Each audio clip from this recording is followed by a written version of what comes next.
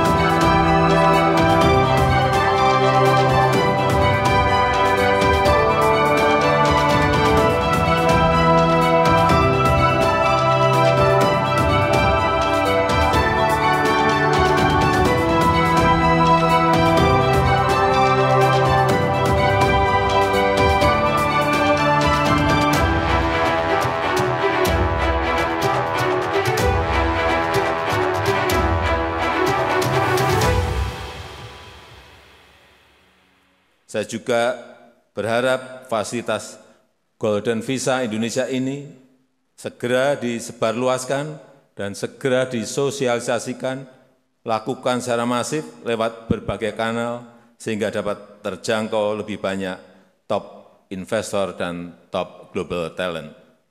Selain itu, saya juga mengharapkan para duta besar negara-negara sahabat dapat menyampaikan informasi kebijakan ini ke masyarakat di negara masing-masing untuk meningkatkan kerjasama ekonomi dan menjadi perkat persahabatan antar negara.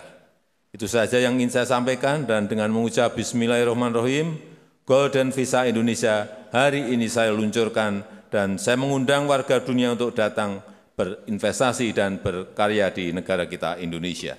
Terima kasih. Wassalamualaikum warahmatullahi wabarakatuh.